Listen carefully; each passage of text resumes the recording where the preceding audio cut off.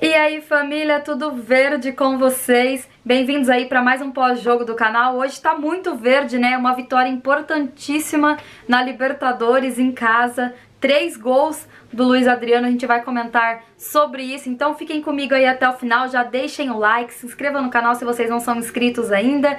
E ative o sininho da notificação que eu sempre estou aqui para trazer informações do Palmeiras para vocês, tá bom? Estou falando um pouquinho baixo que já tem gente aqui em casa dormindo, é, mas vamos comentar desse jogo aí do Palmeiras. Preciso começar falando sobre o primeiro tempo, depois eu falo do segundo, tá? Tudo bem que foi, a gente ganhou, e a gente tem que comemorar sim vitória, ainda mais com três gols, né? O saldo de gols acaba sendo um pouco importante, pouco não, muito importante pro Palmeiras aí na Libertadores, mas a gente tem que falar do primeiro tempo do Palmeiras e de algumas coisas que eu não gostei, que eu espero que melhore, né? Até para um pro, pro próximo jogo da Libertadores, pra, pra hora que entrar o mata-mata e até mesmo pro Paulista, né? Que nós estamos bem vivos aí no Paulista ainda. Enfim, gente, primeiro tempo do Palmeiras foi bem disputado, mas foi a sentir um pouco de desorganização, ele foi muito de, desorganizado, né? Palmeiras entrou na, nas, na catimba dos caras, é, acho que tinha metade do time ali era argentino, então os caras estavam batendo e o Palmeiras entrando na pilha e não conseguia é, fazer nada e a gente sentiu o Palmeiras desorganizado, por quê? Porque a gente sentiu a falta de um meia. Luxemburgo, coloca na tua cabeça, Dudu não é meia, não adianta insistir. Tentou Dudu como meia, não deu certo? Meu, parou, né? Não adianta insistir. Eu já falei, falei hoje no vídeo, persistir no erro é burrice. Não deu certo, admite que que não deu certo, acabou, né? Bola pra frente. Acho que o, o melhor lance do primeiro tempo, gente, foi no comecinho ali, é, naquele, naquela várzea, né? O, foi o, o Rony, foi, foi o Rony recuperou a bola, tocou pro Luiz Adriano, Luiz Adriano tocou pro Dudu, Dudu falhou e o William chutou na cara do goleiro, depois o Dudu errou de novo e virou uma bagunça ali, uma várzea e não saiu o gol do Palmeiras, então acho que foi o melhor lance, depois o Palmeiras é, meio que tentou algumas outras chances, teve umas outras chances, mas esfriou bastante o jogo, né? E é isso um pouquinho que me deixou irritada. Até entrei pro segundo tempo já falei, caramba, será que vai ser hoje que a gente vai é,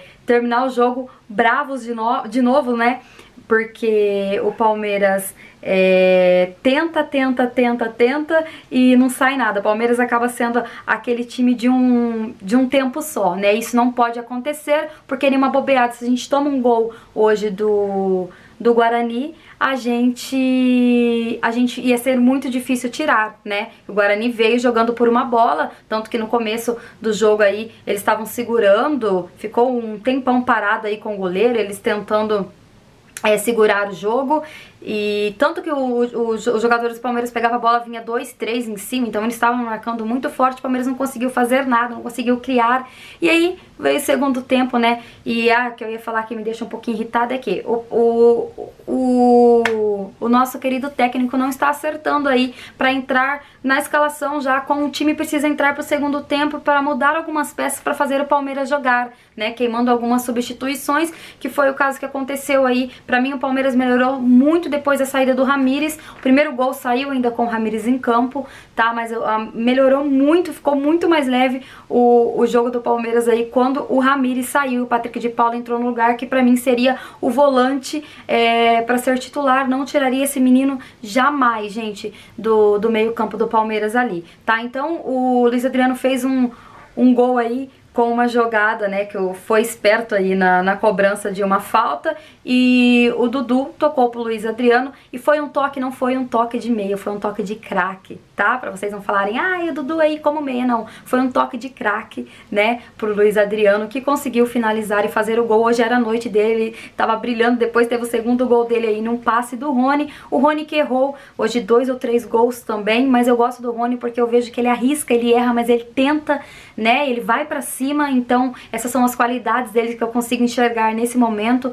É, fez dois gols já, mas impedidos, né? E mais uma hora dele vai chegar. Importante que ele tá colaborando, inclusive o passe saiu é, do pé dele aí pro segundo gol e depois no terceiro gol de novo saiu do pé do Dudu, Dudu pela ponta. Viu, Luxemburgo? Pela ponta.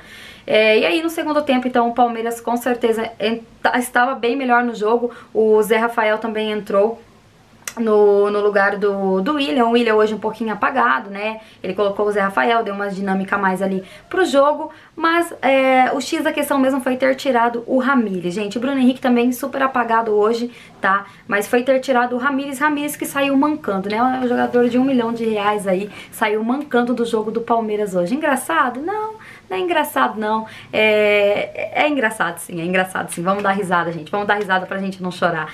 É, então, ô, ô corintiano, você amigo corintiano aí que assistiu o jogo do Palmeiras pra secar Sinto lhe dizer que não teve jeito, né? Que você pode dormir e que o Palmeiras conseguiu fazer a parte dele ganhar. Eu falei pra vocês hoje que eu estava um pouco desanimada, né? Falei, ah, gente, tô meio desanimada tal, mas a vida de torcedor é isso, né? A gente tá desanimado num dia, no outro dia a gente já se anima com três gols aí do, do Luiz Adriano com três gols na Libertadores. A gente sabe que Libertadores não é fácil, ainda mais fazer três, né, em apenas um jogo. Tudo bem que a gente tomou um golzinho aí no final, é, numa falha do Vinha. É, ele ficou ali perdido, não olhou a linha do impedimento, né? Na verdade, ficou levantando o braço em vez de acompanhar o jogador e aí a gente tomou o gol, mas acontece, né? Eu não posso nem cobrar nada do Vinha, que o Vinha vem me Sim, gente, vem sendo o dono do time, vem jogando muito mesmo. Então esse foi é, o jogo do Palmeiras de hoje. Eu quero que vocês deixem o comentário de vocês aqui, que vocês acharam dessa partida, se vocês concordam com o que eu falei ou não, se vocês acham que tá faltando alguma coisa pro Palmeiras, que a gente só tem medo aí quando chegar o mata-mata ainda. Vamos ter calma, tá? Sábado tem jogo contra o Limeira, o Inter de Limeira aqui, aqui do lado, gente, pertinho tá? Eu não vou mais, enfim. É, então sábado tem jogo e espero que não entre de novo é, é, reservas, né, que o Luxemburgo tem aprendido também, que se ele for mesclar o time, que ele deixe pelo menos uns 5, 6 aí, enfim, gente, esse daí é meu pós-jogo, eu vou finalizar por aqui, até porque já tá tarde, já tenho que postar, deixa o comentário de vocês que é sempre muito importante, eu esqueci de falar alguma coisa aí, desculpa, mas é quase meia-noite, tô morrendo de sono, então um beijo no coração de vocês, a gente se vê durante a semana para trazer mais informações do Palmeiras pra vocês, belezinha? Então até o próximo vídeo e avante palestra!